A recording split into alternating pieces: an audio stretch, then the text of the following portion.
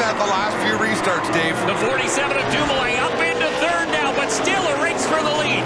Lapcevich down low and Labbé trying to build that momentum up in the high groove. Lapcevich a little crossways off four. Side by side, but the new dynamic this year, here's LP Dumoulin in the mix, and he looks fast. They're leaning on each other at the front of the field. Labbé still in that outside groove, able to make it work for several laps this time. But Lapcevich starting to edge into the lead in the 76.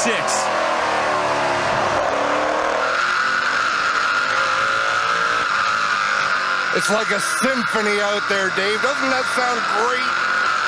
And Just look at the side of that number 47. A battle for second.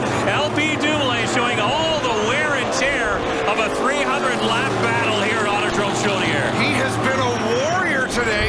You can see him slide the to take away Alex Labbé's lane. But there goes LP Dumoulin to second spot. Labbé going to try to cross over to the bottom. The LP Dumoulin of a couple of years ago would never have made a move like that, but the 47 WeatherTech Dodge is a force to be reckoned with here today. This is a battle for fifth spot. Donald Teague with Andrew Ranger. Kevin Lacroix, you remember, back on the lead lap in the bumper-to-bumper Total Lubricant 74. And Donald Teague has developed a terrible push coming off the corner. He can 22 machine shoot straight up the racetrack. Donald Teague pushed that time right into the 27 of Andrew Ranger. Well, if not for Ranger on the outside, Teague might put it right out of the ballpark. the Circuit Acura Dodge just trying to hang on and save that spot that he's in. There's Alex Tagliani into the inside, some contact in the front. That's a battle for second with Labbé on the inside. And the 47 of LP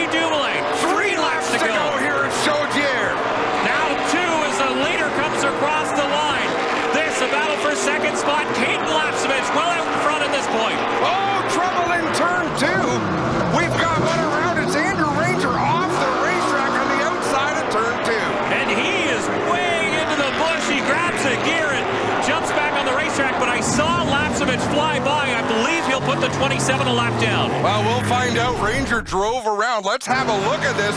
Running on the outside of T, down into turn one. Oh, Kevin Lacroix. It was time. On the outside of the 76 of Lapcevich. Green flag flies once again. Dumoulin sails it in on the outside. That hurt him a little bit. Lapcevich will take over top spot once again. But again, the WeatherTech Dotsier number 47 flies on the outside. White flag is up. One more lap to go.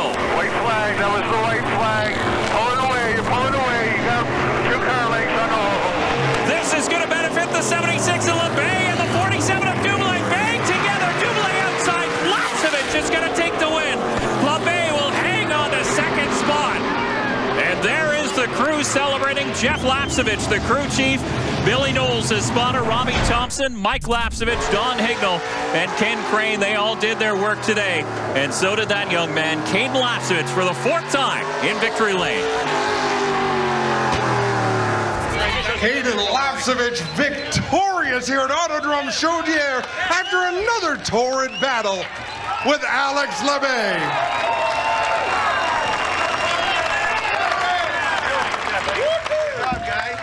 Cayden Lapcevich, I'd never seen a crowd erupt like it did last year when Labbé won the race that time. This time, redemption. You outdueled Alex Labbé in a phenomenal battle. Talk about this win.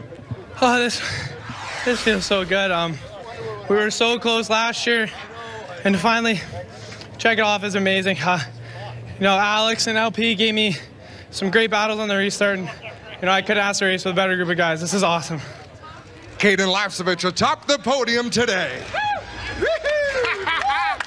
And we'll take a look at the top 10 here at Autodrome Chaudière. Alex Labbé, LP Dumoulin, your top three. Kennington, Donald Teague, a top five.